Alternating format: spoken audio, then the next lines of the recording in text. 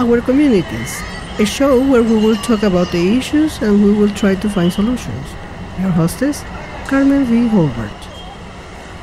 Hello, welcome to Our Communities.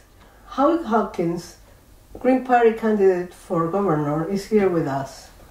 Howie Hawkins is a retired teamster from Syracuse, New York. He is a co-founder of the Green Party in the United States and has been an organizer in progressive movements, movements since the late 1960s. Thank you for accepting an interview with us. I'm glad to be here. Running as a third party candidate is not so easy in the United States. This is not your first time running for governor. What is so different this time? Well, I think the biggest difference is we're in the Trump era. And a lot of people are just saying, we got to vote against Trump. We got to get the Democrats back in. So we have a Democratic Party in the city of New York representing the landlords, pushing out the working class and the middle class by basically uh, rezoning and uh, creating a situation where rent controlled apartments are replaced by luxury apartments. And that's called the left and the progressives. And people are so scared of Trump, they can't see straight. I think that's the challenge for us this year. We've got to, you know, reach the progressive-minded people and say, wait a minute. In the fall, you're going to have the Greens on the progressive side, you're going to have the Democrats in the corporate centrist side, and the Republicans on the conservative right. And if you're a progressive, you should vote for the progressives. If you think, oh, I'll vote for the uh, Democrat on the working families line to send the Democrat a message, no, you're part of that Democratic coalition. You get lost in the sauce and you're really not distinguishing your progressive politics. So, you know, our argument to the progressives is if you want progressive policies, vote for the progressive candidates. Now, we got 5% in 2014. We didn't win the office, but that was leverage because Cuomo wanted those votes. He wants to run for president. He wanted more votes than his daddy got, and he didn't. So he had to ask himself, why didn't I get those votes? They went to the Greens and he looked at what we were talking about. We wanted a ban on fracking. Guess what? He decided he had to do that. $15 minimum wage. He hasn't got all the way there yet, but he moved that way. Tuition free higher education. The Excelsior program really isn't that, but he's talking about it, and it does provide some help to some people. But if you can't afford to go full time, you're not qualified. So it's not yet tuition free public college, but he thought he had to move that way. And actually, I could give you 19 different issues where he was on one side, now he's on our side. If not fully in policy, at least in the way he's talking. So that's the power of the independent vote. It gives us leverage in the political system. And my argument to progressives is vote for the left, the progressives, the Greens, and make the politicians come to you. Otherwise, you vote for the Democrat, they're just going to take your vote for granted. They won't even know it's a progressive vote. Uh, the Green Party um, platform is very progressive. Uh, compared to the Democrats, it's, it's just totally different. Now, what are the most pressing issues you're going to base your campaign besides housing and the other? Well, housing for sure. I mean, people are being pushed out. It's not just in New York City, it's in all the cities. And we know from a study the comptroller did about four years ago that at that time, uh, half the people that rent in the state pay more than 30% of their income in rent, which is the federal standard of affordability. A third of the people pay more than half their income for rent. This is statewide, and it's got worse since then. So we've got a housing crisis, and not only do we need to expand rent control, re-regulate buildings that have lost rent control, and uh, defend uh, people from displacement, we've got to expand affordable housing. And our program is instead of giving corporate welfare to developers like uh, uh, de Blasio's inclusionary zoning policy, he's giving inclusionary zoning a bad name because those in the so-called affordable have to have incomes of like $50,000 to even qualify. So that leaves a lot of people out. It's not really inclusionary. And it's more expensive to give these subsidies to developers so they can provide the affordable units than to directly build them. So we need a new public housing program. Now NYCHA needs $25 billion just to get the lead paint and the mold out, get the roofs repaired, get the boilers fixed. Uh, but we got to go beyond that. We got to build public housing that's not like the old public housing that created low income minority ghettos that are segregated. We want public housing like in Europe that's open to working class and middle class people as, very, as well as very low income people so that we begin to desegregate and they should be scatter site in the suburbs as well as the cities, humanly scaled so you can build community, uh, mixed income, and we should they should be green. They should be powered by clean energy. They should produce more energy than they use. So that new housing program for public housing could be a jobs program, a clean energy program, a desegregation program, as well as a way to create affordable housing. And you create enough public housing, that will set the standard in the market of what the real cost of providing affordable housing is. And then the rents will have to come down in the private sector. That's what hap- that's what has happened in European countries that provide a significant amount of public housing for middle, working, and poor people. And uh, it's the rents are much more affordable there because of that. So housing, you asked me. So I went off on housing because it's such a big issue. Yes. Uh, single payer health care. We have a bill called the New York Health Act. It's passed the Assembly three times. It's one vote short in the Senate. Even Governor Cuomo said it's a good idea, but he didn't put it in the State of the State address or his budget. Mm-hmm. And right now, there's they're about to come to the close of the legislative session. We're calling on Cuomo to use all his political capital to get the senators to vote on it. It's stuck in committee, so we can go to the polls in the fall and know who's on what side. But this program would provide all medically necessary services to all New Yorkers at lower costs than we're paying now for a mix of public systems like Medicare and Medicaid and private insurance. And 98% of us would pay less. It's, it's funded by progressive taxation. So the top 2% would pay a little more than they now pay, but the rest of us would pay less and get better service. So that's the second issue housing, healthcare, the climate crisis. We're calling for 100% clean energy by 2030 because that's what the climate science says we've got to do to avoid runaway global warming and a climate catastrophe.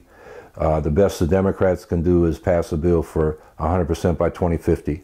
And that doesn't solve the problem in time. The politicians passing that won't be around for the consequences. So we're, and this is where the so-called progressives in the Democratic Party are not being progressive.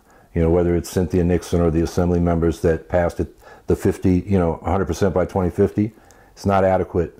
It's too late and too little. So that's that's a third big issue. And then education. Uh, the progressives are calling for more funding. That's good. And when I say progressive, the progressive Democrats. But they're avoiding the problem of high stakes testing, which is used to privatize schools because we know the high poverty schools are going to score low and then they define them as failing, and then they take them over and hand them over to charter schools. That drains money from public school systems. Like in my city of Syracuse, half the schools are under threat of being taken over and turned into charters. You take half the schools and half the students' money, you know, that, that the state, you know, and, and the local taxes, and give them to private charter schools, uh, the public school system is going to be in a financial crisis. It's already in financial distress because the state isn't fully funding as they were supposed to under the uh, campaign for fiscal equity case.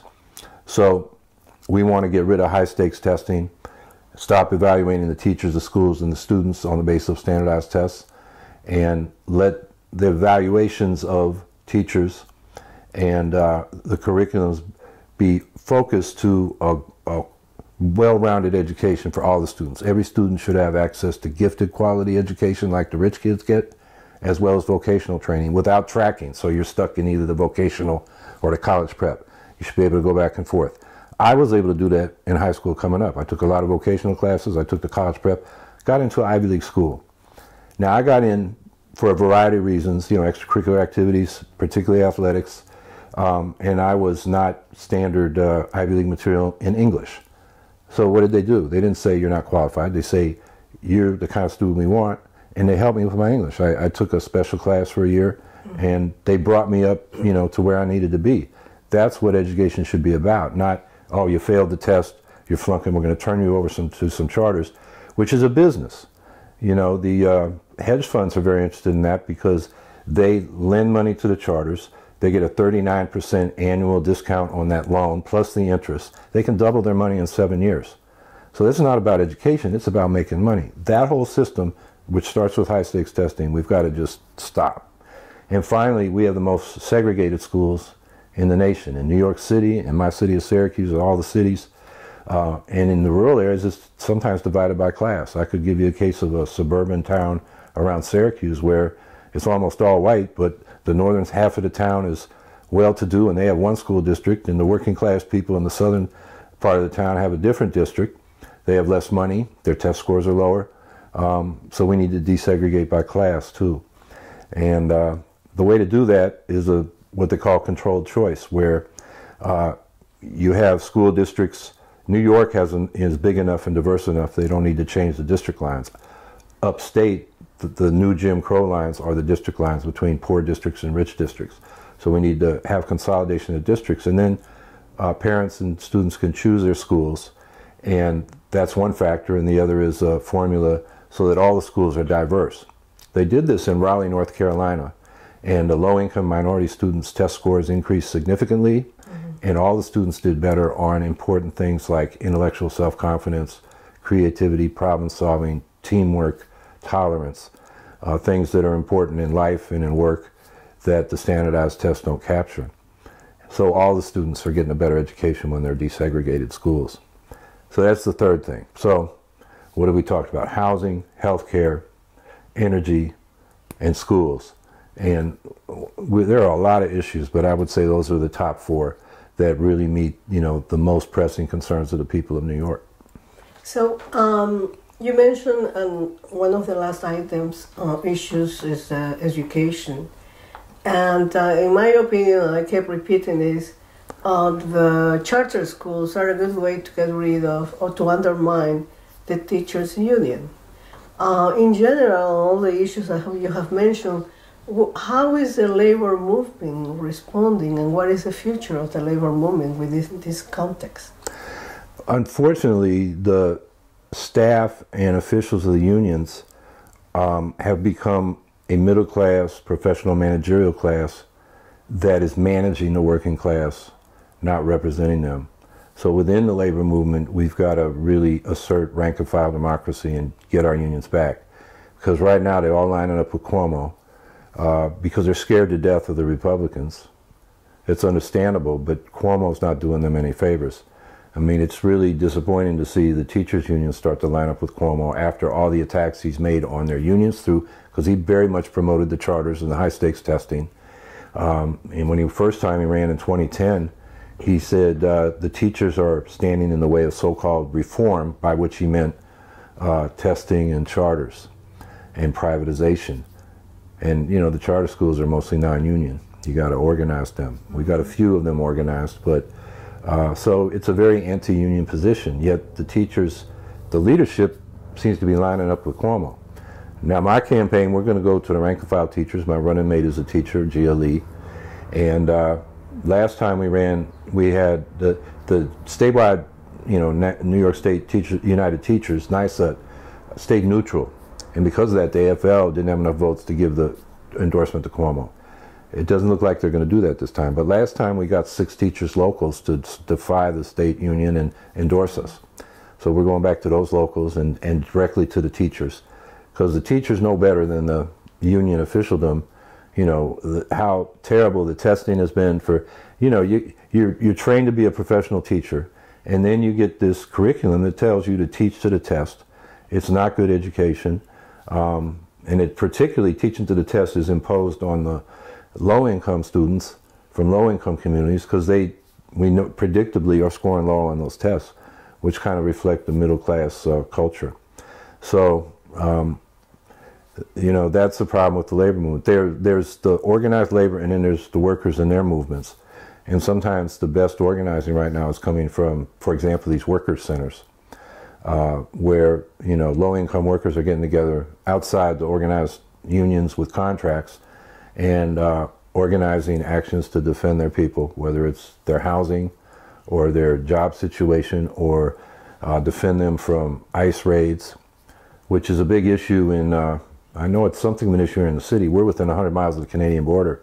So ICE goes, for example, to the regional transportation center where the buses and trains come in mm -hmm. and just randomly start asking people for their papers. You know, like this is some authoritarian country. And that's that shouldn't be happening. And you know, the the farmers up there tend to be very conservative politically. They depend on those immigrant workers without documents because they're the ones that will do the work. Um, so, you know, that's a case where we call for New York being a sanctuary state. We did that four years ago.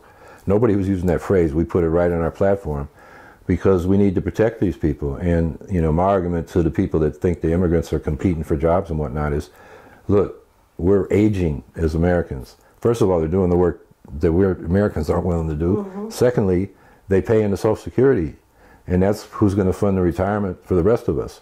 So, uh, you know, we should welcome those immigrants. They're they're making a big contribution. How um, you you have mentioned um, what is happening in, the border of New York State, and it's kind of similar what is happening in New York City.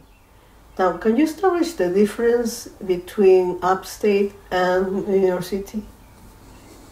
Well, the reality is working people and middle class people, upstate and downstate, have the same issues and the same problems. But what the politicians do is say, if they're upstate, say, oh, New York dominates the politics and they're, they're, you know, everything that the state does is for New York City. And the actual fact is, New York City pays more taxes and it, it's a benefit for upstate. Right. Um, on the other hand, well, on the same hand, upstate is voting on issues in New York City like rent control, um, like there's a law the state passed about admission to these uh, elite high schools. It's just one standardized test. Mm-hmm. Why is a rural Republican legislator from, say, Wayne County, which most people in New York don't even know where that is, voting on how you admit people to high schools in New York City? They have no business doing that. Just as urban state assembly people have no business passing legislation on issues upstate. So I think uh, we gotta we gotta avoid this upstate versus downstate thing because that's how they divide and conquer, and working people lose out. How, what is the answer?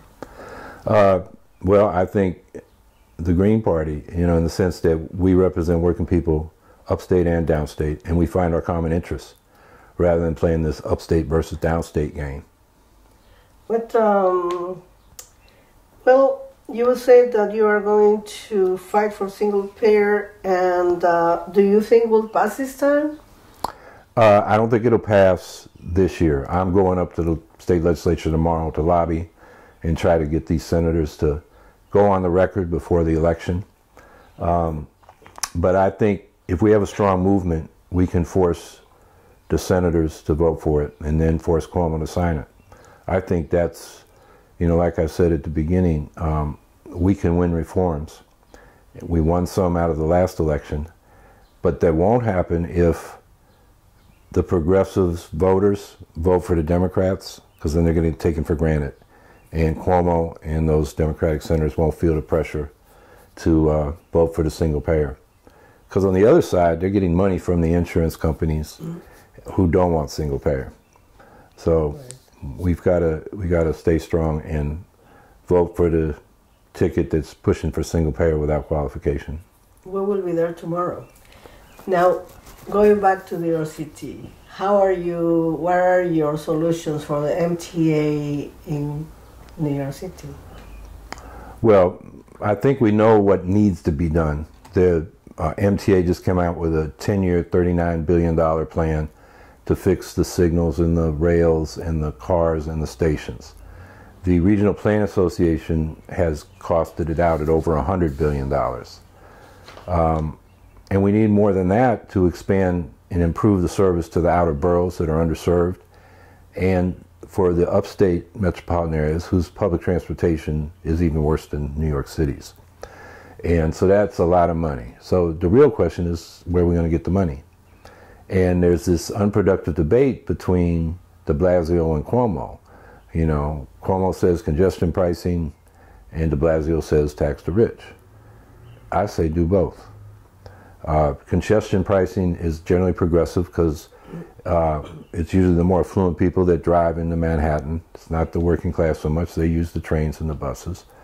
Um, but we also need to tax the very wealthy. They've made a lot of money, particularly from real estate and the financial sector down here. In 1980, the top 1% in the city got 12% of all the income in the city. By 2014, a few years ago, the top 1% got 39% of all the income in the city, from 12% to 39%. But their taxes have been cut. So we need to bring the income tax, make it more progressive like it was in the 1970s. And then we have a stock transfer tax that's about $15 billion a year. The state collects it and gives it right back to the stock traders on Wall Street. Mm. If we kept that, we'd have $15 billion we can invest in housing and uh, transportation and other infrastructure, public housing. If we had the kind of progressive tax structure we had in the 1970s on income, we'd have another 10 billion. There's 25 billion a year. And it's a multi-year process to spend 100 billion on the subways and 25 billion on housing just to get them up to grade and more to expand both housing and transportation. But the money's there. And uh, congestion pricing is about a billion dollars a year. Um, that's good because it incentivizes people to use public transportation instead of drive their car in, um, which reduces traffic, has a lot of benefits, but it's only a billion a year. The Daily News just had an editorial saying the rich will move away if we tax them, so go with congestion pricing, and that's enough. No, that's only a billion a year, and the MTA just said 39 billion over 10 years. So where's the rest of this money coming from? I'm afraid they're going to borrow it. And the problem is the MTA has become an ATM for Wall Street. Mm-hmm. So they borrow the money, interest payments become a bigger and bigger part of the MTA's budget, and Wall Street gets rich, and then the taxpayers have to pay for it anyway. It's better to tax the rich up front than to borrow from them and then add interest on top of it. So progressive taxation, I think, is is you know what we've really got to focus on, and then we'll have the money for all these investments. Um, in the areas we've been talking about education, housing, transportation, energy to build out the clean energy system. Although in healthcare, because single payer is more efficient, it's actually going to save the state and the people of the state a lot of money. And with those savings, we can invest it in other infrastructure. We've, um, in the last uh, year, something came up with the home attendants in the healthcare system of that uh, they were uh, kind of forced to work 24 hours and only get paid 13. How do you uh, address that problem? You know, the fact that these scared progressives, scared of Trump, want to back somebody like Cuomo as a lesser evil or at least anti Trump, when he does things like his Department of Labor did, those home attendants won a court case, Second Appellate Division, saying they have to be paid for the 24 hours on those shifts. Now, there shouldn't be 24 hour shifts in the first place. But if you're going to be on a 24 hour shift, you should be paid for all the hours. Uh, and what the uh, state or the, I guess they, the, who was sued were the agencies, they're appealing. So while the appeal's going on, the State Department of Labor said, uh, we're going to keep it the way it is. You only get paid 13 of your 24 hours, which is, uh, you know, unpaid labor is slavery. And this is what we're getting from the Cuomo administration. Um, and why progressives can't see how that's not progressive is, uh, you know, the problem for our campaign. We got to make them see things like that. Um, and it's, you know, home health care workers, it's farm workers who don't have the protections of the Fair Labor Standards Act, uh, the right to days off, overtime pay, minimum wage. They've got nothing. They're very exploited. And uh, this is a governor who's getting all the unions backing him. It's uh, it's a shame on the unions. It's a shame on progressives that don't rebel that this is what they're voting for when they vote for Democrats. Um, so there are a lot of issues in terms of you know what's happening to working class people that uh, you know we need a new direction. So we're ready for a third party. Uh, I think if you look at the public polling on the positions we hold you know, single payer health care, uh, a public job guarantee. So if you can't get a job in the private sector, you can go to the employment office instead of the unemployment office and say, I want my job. And it's funded doing things that local communities define are needed, whether it's public services or public works infrastructure. Uh, that all these things poll 60% or more in favor. Um, and you know the real problem of American politics and New York politics is public opinion doesn't translate into public policy. We've got this two party system of corporate rule, and the Democrats are very much important to that because they sort of provide a progressive face and it gives the illusion of choice. Well, when the election's over, you look and see who funded Trump and who funded Cuomo. You know, remember Scaramucci, the mooch they called him, that was a spokesperson for Trump for a while? Yeah. Yeah, he was head of Republicans for Cuomo in 2010. Carl Icahn was in the Trump administration as an advisor and a big funder, big funder for uh, Mario Cuomo. A lot of these real estate people that are Trump's peers in New York State, uh, New York City real estate, gave to both Cuomo and Trump. Um, so the funders do, and then you look at the uh, the top dogs in the Democratic Party. There's a guy upstate who just got uh, pleaded guilty to bribing uh, Andrew Cuomo's brother from another mother, Joe Percoco, mm-hmm. his right hand man, to uh, grease the wheels so a power plant called Competitive Power Ventures in Orange County could go forward. This is a terrible idea. It uses fracked gas and uh, would add 10% uh, more to the carbon footprint of the state and contribute to global warming. So it shouldn't be built for that reason. But the man who made the bribes, his name is Peter Galbraith Kelly Jr. He is the national, he was treasurer for the Democratic National Committee. Uh, he's in a public relations firm with Charlie Black, a big Republican uh, public relations and lobbying guy. And Peter Galbraith Kelly Sr., Jr.'s father, was in the same firm with Charlie Black back in the 80s, along with Paul Manafort, mm. Roger Stone, Lee Atwater. So, and, and their clients were people like uh, the dictator of Zaire, Mobutu, the dictator of the Philippines, Marcos, Senator Jesse Helms from North Carolina, a racist senator that uh, created havoc in the Senate for years.